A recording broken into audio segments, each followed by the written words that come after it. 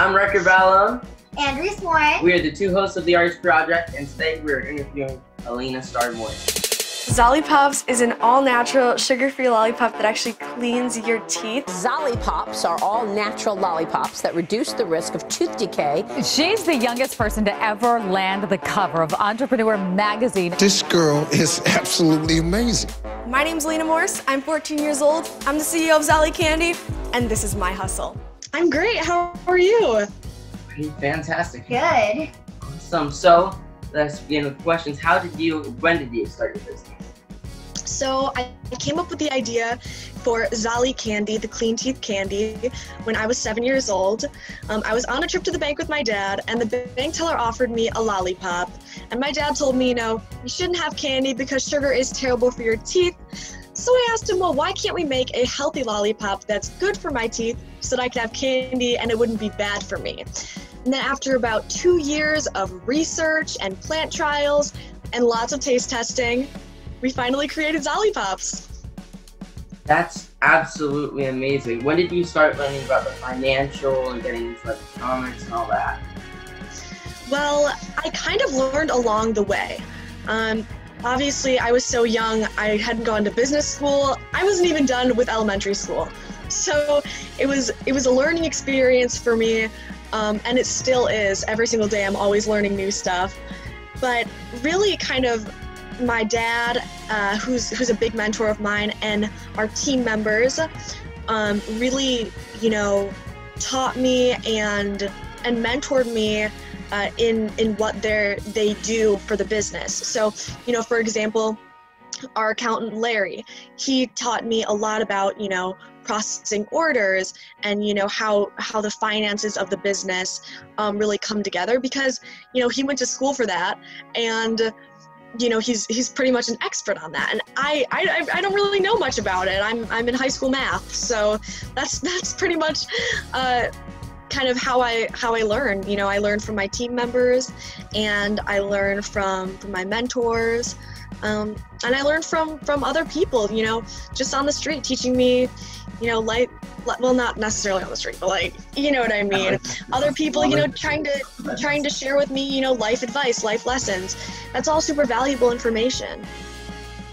Absolutely. And how has your business helped you grow as a person well my business has honestly really kind of developed my my personality in a sense um, as well as you know kind of not necessarily uh, my work habits, but kind of the way I go about um, living my life.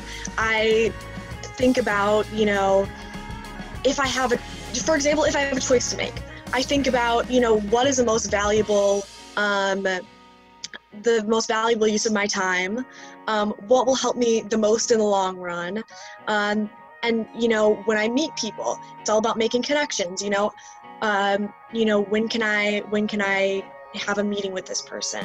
Um, what can they teach me? What can i teach them? So i guess just kind of being in the adult world uh, has given me a different outlook on life um, because you know as a kid in a in a mostly adult industry well probably actually entirely adult industry um, it's very interesting uh, to learn from the people that have been in the, the candy industry and the business world for, for 70 years. This is their family company and they, they were born into this. And, you know, I'm just, I'm 14 years, well, 15, 15. I'm 15. And I feel like I'm, I'm learning so much at such a young age about like business, but also like life. Absolutely. You, you touched on like how you focus on things that are most valuable use of your time and what helps you in the long run. How do you keep yourself from getting distracted and you keep doing these productive things? How do you do that? Well, I used to, you know, be quite a procrastinator, but I think over time I've I've tried to uh, really work on that, especially because I have so much to do every single day. Um, you know, schoolwork, dance, regular work, um, and I always, you know, try and do some fun stuff to to remind myself that I'm still a kid. Um, and so, you know, stuff stuff like that, you know, is all all stuff that I've decided that I want to spend my time doing. but you know there are there are choices to be made you know i have a school dance coming up for example but i also have a business trip. So what is what is my choice? Um, well depending on the importance of the business trip you know i either of course if it's super important or you know important i'll go and i have to miss out but that's okay because you know it'll help me in the long run. And if it's not, you know, super important and they don't really need me there, I trust my team. You know, they do amazing work, they do a great job, and you know, they're some of the people that taught me, um, you know, how how to how to sell products, how to, you know, to conduct yourself during these meetings, and you know, they're they're amazing team members, and I completely trust them to, you know, go do go do the meeting by themselves. It doesn't it doesn't it's honestly business is not about uh, doing it all yourself um, and trying to take on as much as you can and do everything that you can. It's about delegating. Um, and I feel like I've definitely learned that over over time, um, just from a business aspect. Like as a CEO, um, you have like certain responsibilities, but really personally, I don't think of it as like a, a hierarchy where you know CEO has like the the biggest job or or things like that. But whereas you know we're all equal employees and we're all working towards a common goal we're just better at different things. And so kind of as a ceo where you have so many different jobs and you fit into so many different boxes and categories you really have to delegate out to people um, because that's what they're good at. You have to let them be be good at what they're good at. I just learned a lot. I just learned a lot about business and that and you're 15 now. Um, when was your birthday and what did you do for your birthday? So my birthday was May 8th and I had a lot of fun. I was I was really lucky that I felt like, you know, for moments I forgot my birthday was, you know, in quarantine. Because I was having so much fun hanging out with my friends. Also, it gave me like a new outlook on birthdays. I feel like even even myself, kids in general, you know, I think you know they have the kind of that they get excited about gifts they get excited about presents and sometimes you can get wrapped up in it. No pun intended you know you wrap gifts. Yeah anyway that's anyways. so funny that's what yeah, but like yeah you know you can get wrapped up in kind of the the gifts and and the presents and and and really kind of i guess not being able to see my friends in person um, and not being able to spend time with my family in person really made me appreciate spending time with them um, and spending time with you know even my my immediate family in my house. Um, it really just made me appreciate you know first of all how much effort my family put into making my birthday special. Um, and then also you know being able to, to talk to my friends and and communicate with them even though you know i can't see them. It really you know made me way more appreciative of of those relationships. So I had lots of fun. I had some Zoom parties um, with my my dance friends and my school friends, and we put a sign outside my house uh, that said. Um, Alina's 15, honk to wish her a happy birthday. And so we got people honking their horns outside our house all day, which was really fun. But yeah, you know, it was a great day, and I'm glad I got to spend it with with such amazing people. That's actually really cool. The whole Lena 15. Oh That's my actually gosh, really cool. that is actually yeah. Um, and you for you got signed up with a charity. Um, Yes. birthday. Shark Allies. What do they do and how can we help? Yeah, so Shark Allies, um, they, you know, they advocate for the ocean and the sharks because, you know, obviously they can't advocate for themselves. And, you know, with all the trash getting dumped in the ocean and, you know, the pollution as well as, you know, um, people killing sharks and sharks are so important to the ecosystem. Um, and without them, you know, the the underwater ecosystem doesn't work. You know, there's too much of one kind of fish. There's not enough of another, um, and you know, it just it really doesn't work without them, and they're dying, and that's really really sad. Um, I'm a huge advocate for the ocean. I'm a surfer, so I love the ocean, and I'm a huge recycler. Uh, my family can advocate for this, um, and they can they can vouch for me. They they get irritated with how much I how much I recycle. Sometimes they'll try and throw something away. I'm like, oh no, that's recyclable. Yell at your family. Nope, wrong one. Yeah.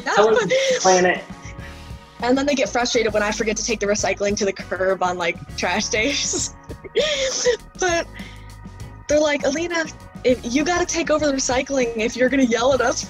I'm like, okay, I got it. Because, you know, it's just something that um, I'm passionate about. And I'm so happy that, that I can um, donate my birthday to Shark Allies. Um, because, you know, it's something that, that I really believe in. And so please check out um, facebook.com slash Zolli Candy. Uh, you'll see the big the big shark banner. I promise you won't miss it. Um, and you can actually donate uh, to help us reach our goal of $350 raised to raise for Shark Allies.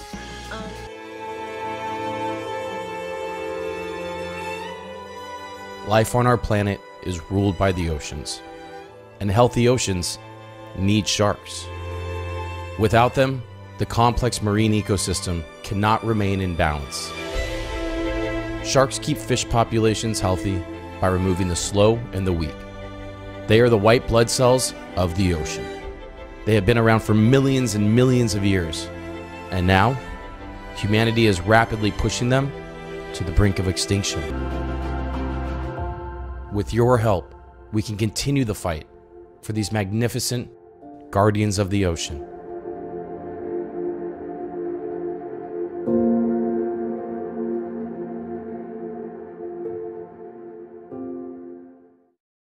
we're not only helping to keep the sharks happy and smiling, we're also, you know, helping people stay smiling too.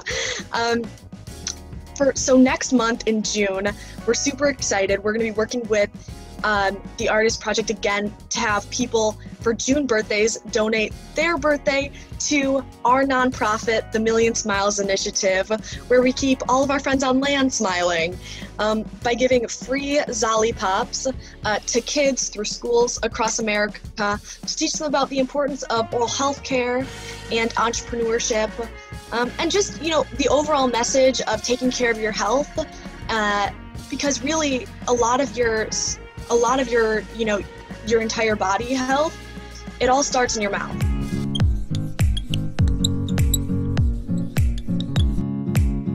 Hi, I'm Alina Morse, the creator of Zollipops. Our mission is to help reduce tooth decay in kids across the world. We do that by giving 1 million Zollipops to schools and teaching kids the importance of oral health. Smiles have amazing powers, and we are here to protect them. Have your teachers sign up at zollipops.com under the 1 Million Smiles tab to get free Zollipops for your school and help us reach our goal of 1 million smiles. Keep smiling!